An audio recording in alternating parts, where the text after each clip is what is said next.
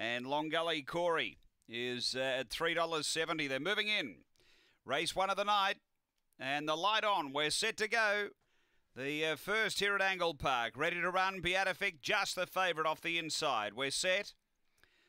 Racing, Beatific a touch slow from the inside initially. Crazy Diva runs to the front. Uh, Mudwinji through to second, then Beatific. They were followed by Coolia Jets and then Long Gully Corey and Rockstar Harley off the back. Crazy Diva away by two to Beatific and then Mudwinji on the turn. Crazy Diva uh, straight and clear over Beatific and Mudwinji and Crazy Diva too good. Uh, second Beatific I'd say from Mudwinji and then Coolia Jets. Uh, they were followed by Long Gully Corey and Rockstar Harley. It was back at the tail end. The time here is around 22 and 70.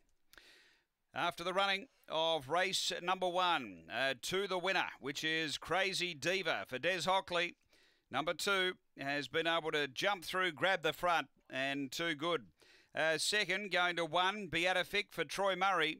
And third to four, Mudwinji for Clint Trengove. Numbers are 2 1 4 5 fourth after race one here at Angle Park.